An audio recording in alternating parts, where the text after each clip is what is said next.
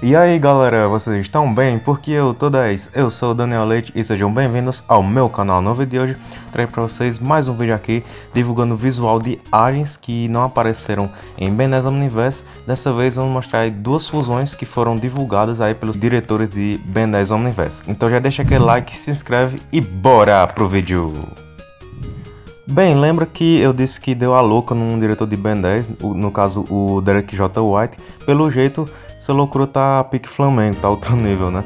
No caso, uma parte da produção de Ben 10 que tinha a vibe de se comunicar com o povo decidiu nos revelar coisas bombásticas. Sim, eu sei, recentemente fiz um vídeo mostrando as artes oficiais de aliens dos bens alternativos, mas é o que eu disse deu a louca nessa gente. E que bom pra gente, né? Pois eles revelaram coisas que a gente, fã de Ben 10 carteirinha mesmo, queria muito ver. Então confiram as fusões oficiais do Ben 10.000 que eram para aparecer, as quais Derek e Thomas Perkins, que deram essas informações muito interessantes, não reveladas na época. Primeira fusão aí é o Gravadactyl, ele tá uma fusão muito da hora aí, no caso eu acho que seria uma fusão muito útil, né? Porque ela ia suprir é, uma fraqueza aí do Gravataque. Porque o Gravataque, você sabe que ele consegue deixar o corpo do seu alvo inerte quando ele usa a sua gravidade. Porém, ele não pode impedir que esse inimigo, se ele puder disparar algum míssil, algum laser, ele não pode impedir que ele dispare, mas com o Gravadátil ele poderia usar o seu poder de estrela interna para combater o míssil, né? Então eu acho que ele seria uma fusão muito interessante, até porque o Gravataque em si ele pode levitar, mas o Astrodáctilo tem uma velocidade melhor, né, por causa do, jet, do jetpack dele. E também os seus poderes aí de estrela interna poderiam combinar aí com a gravidade. Então seria uma fusão muito equilibrada. O próximo aí é o XLRG. Nesse vídeo aqui eu mostrei essa fusão, né, no qual eu, eu comentei para vocês que era uma fusão que deveria aparecer, mas não apareceu e tal.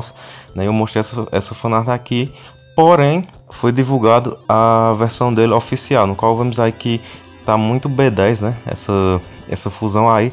No caso, eu achei interessante, tipo, eles misturarem aí, né, XLR8 e NRG, né, tanto o, os nomes dele, né, que o nome deles são letras que formam palavras, né, no caso Accelerate e Energy, no caso aí, é, não só o nome, mas também o alien em si, porque ele seria aí, né, uma um alien de velocidade com radiação, ser pique flash, né, tipo se transformar em energia e sair correndo por aí, né, soltando aqueles rastros lá de eletricidade e tal, né? E a gente vê aí que o mais legal dele é essa, o jeito que ele sai da armadura, ele meio que se desloca aí o pescoço e sai, né? O C aí a forma fora da armadura do XLRG, do qual tá bem legal, tipo, ele nem tem as rodinhas dele, né? Ele tem só as pernas mesmo, né? Mostrando aí que ele seria um ser de energia pura, né? Radioativa.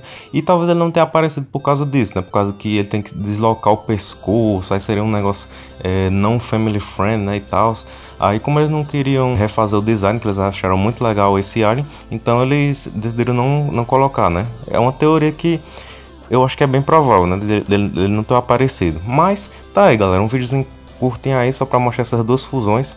As duas são bem legais, mas é, é o que eu disse, galera. O povo tá revelando muita coisa aí. Então, no próximo vídeo, eu posso fazer mostrando aí é, predadores que realmente iam aparecer e foram divulgados seus visuais, galera. Então eu posso fazer aí estreia, a gente comenta aí é, qual quais seriam as presas desses predadores e tal, mas deixa aí nos comentários se vocês querem é, mais conteúdos assim. Então é isso, deixa aquele like, se inscreva no canal, ative o sininho, falou e tchau!